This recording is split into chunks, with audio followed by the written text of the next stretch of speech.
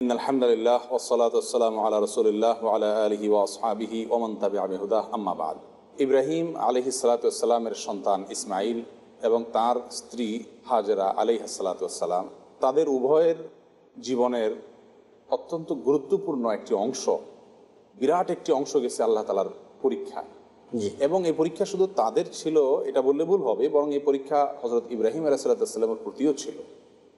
এবং শুধু তাই নয়, আল্লাহ তালা তার প্রিয় পাত্র এবং সমস্ত নবী রসুলগণকে যুগে যুগে এমন এমন পরীক্ষা দিয়েছেন, এমন এমন নির্দেশ দিয়েছেন যে নির্দেশ পালন করা দুনিয়ার কোনো লজিকে, দুনিয়ার কোনো যুক্তিতে স্বাভাবিকভাবে কঠিন হয়ে যায়। কিন্তু তারপরেও তারা আল্লাহ সুবাহতালার নির্দেশকে সবসময় অগ্রাধিকার দিয়ে সেটা পালন করেছেন এবং পরীক্ষায় তারা উত্তীর্ণ হয়েছেন। তেমনি একটি পরীক্ষা আল্লাহ সুবাহতালা সুরাই ইব্রাহিমের ভিতরে সাঁত্রিশ নম্বর আয়তে আল্লাহ তালা এবং সূরা আল বাকারায় সুরা বাকারাতেও তার কিছু অংশ আলোচিত হয়েছে। বাকারার একশো চব্বিশ নম্বর আয়াত জি। তো সুরা ইব্রাহিমের এই সাঁত্রিশ নম্বর আয়াতে যে গঠন থেকে ইঙ্গিত করেছেন সেটি আমরা পাই হজরতে ইব্রাহিম আলাই সালাতামের একটি দোয়া থেকে। তিনি আল্লাহ তালার কাছে দোয়া করেছিলেন অরব্বানা ইন্নি আসকান্তু মিন যুররিয়াতি বিওয়াদিন গায়রি জি জারআন ইনদা বাইতিকাল মুহাররম। রব্বানা লিয়ুকিমুস সালাহ ফাজআল আফইদাতাম মিনান নাস তাহবি ইলাইহিম। ইলাইহিম ওয়ারযুকহুম মিনাস ওয়ারযুকহুম সামারাত মিনাস সামারাতি লাআল্লাহুম ইয়াশকুরুন এই আয়াতের ভিতরে হজরত ইব্রাহিম আসসালাম আল্লাহ তালাকে লক্ষ্য করে বলছেন রব্বানা হে আমার রব আমি আমার পরিবারের কিছু লোককে রেখে আসলাম। মিনজুরিয়াতি পরিবারের কিছু লোককে রেখে আসলাম। বিওয়াদিন এমন একটি উপত্যকায় এমন একটি পাহাড়ি এলাকায় গাইরিজি জারাইন যেখানে কোনো শস্য ফসল কিছুই নেই।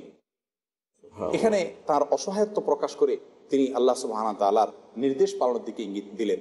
নির্দেশটা কি ছিল এবং কেন তিনি রেখে আসলেন? তার বিস্তারিত বিবরণ এর ব্যাখ্যা প্রসঙ্গে সহি বুখারিতে এসেছে।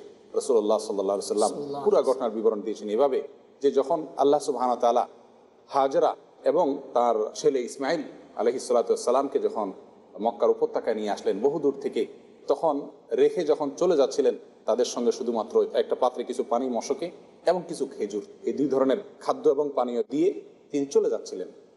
এখানে বলা বাহুল্য যে কোনো মানুষ ওই এলাকায় বসবাস করতো না। সম্পূর্ণ বিরান। জঙ্গল ছিল। এরকম একটি জায়গায় তিনি যখন তাদেরকে নামিয়ে চলে যাচ্ছিলেন হাজারা পিছন থেকে আহ্বান করলেন আপনি আমাদেরকে এখানে রেখে কেন চলে যাচ্ছেন? কয়েকবার জিজ্ঞাসা করলেন এরপর জিজ্ঞাসা করলেন এটা কি আপনার রবের নির্দেশ? ইব্রাহিম আলাইসাল্লাম সায় দিলেন। উত্তর করলেন যে হ্যাঁ। তখন সঙ্গে সঙ্গে হাজার আসসালাম বলেন ইদান লাইদাই না তাহলে আল্লাহ আমাদেরকে হালাক করবেন না ধ্বংস করবেন না অতএব আমি নিশ্চিন্ত আপনার রবের যদি নির্দেশ হয়ে থাকে তাহলে আর কোনো কথা নেই। আপনি চলে যান। ইব্রাহিম আলাইসালাম ফিরে চলে আসলেন। হাজরা আলাইসালাম এই জনমানব শূন্য ভূমিতে একা একা শিশু সন্তানকে নিয়ে দুগ্ধপোষ্য সন্তানকে নিয়ে রইলেন। যে পানি এবং খেজুর ছিল এটা খেলেন এবং এটা খাওয়ার ফলে সন্তান দুধও পাচ্ছিল। কিন্তু খাবার যখন শেষ হয়ে গেছে ক্ষুধা যখন বেড়ে গেছে তার শরীরে দুধ যখন শুকিয়ে গেছে শিশুর কান্না শুরু হয়ে গেল। শিশু খাবারের জন্য পানির জন্য তার খাদ্য গ্রহণের জন্য কাঁপতে থাকল। এদিকে হাজরা আলহিসাল্লাম উপায়ন্তর খুঁজতে লাগলেন যে কীভাবে নিজে খাদ্য গ্রহণ করি কীভাবে শিশুর দুধ সরবরাহের ব্যবস্থা করি।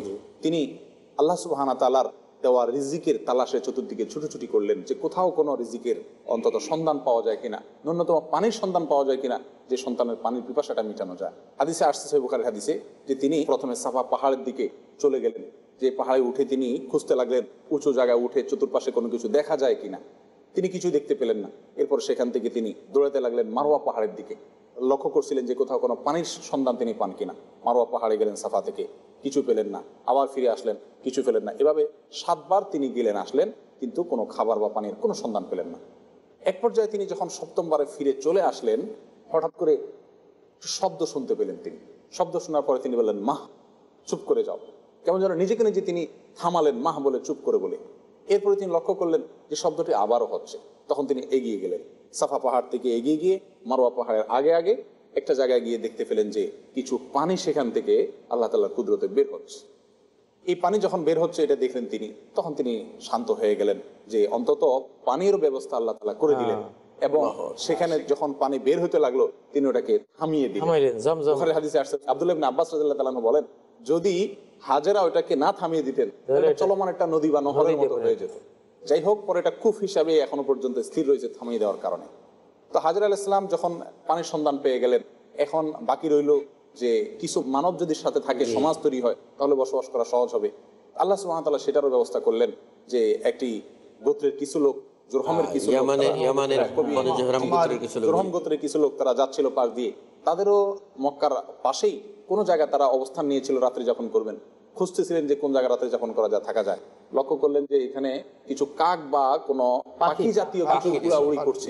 এই পাখির উড়াউড়ি দেখে তারা নিশ্চিত হলেন যে নিশ্চয়ই এখানে পানির কোনো সন্ধান আছে। তারা ওই পাখিকে অনুসরণ করে চলে আসলেন। এসে হাজার আসলামকে দেখলেন দেখে তাকে রীতিমতো অফার করে বসলেন বা অনুমতি নিলেন। যে আপনি তো এখানে বসবাস করছেন আপনি যদি অনুমতি দেন তাহলে আপনার পাশে আমরাও বসবাস করতে পারি। তিনিও চাচ্ছিলেন যে কোনো মানুষের সাথে হাদিসে আসছে যে তিনি মানুষের সাথে ইব্রাহিম মানুষের মন যেন তাদের দিকে ফিরে যায়? আল্লাহ তাআলা তারই বাস্তবায়ন করলেন। সঙ্গে সঙ্গে তিনি বললেন যে ঠিক আছে তবে পানিতে হিস্সা চলবে না। পানিতে আপনার ভাগ পানিটা আমার। পানিটা আমারই থাকবে। যাই হোক পরবর্তীতে তারা সেখানে আসলেন এবং বসবাস করলেন। আর তাদের সঙ্গে একটা হৃদ্যতা গড়ে উঠল। তাদেরই পরিবারের এক মেয়ের সাথে হজরত ইসমাইল ইসলামের পরবর্তীতে বিয়ে হলো এবং বিয়ে হওয়ার পরে মোটামুটি এই ঘটনার এখানে সমাপ্তি।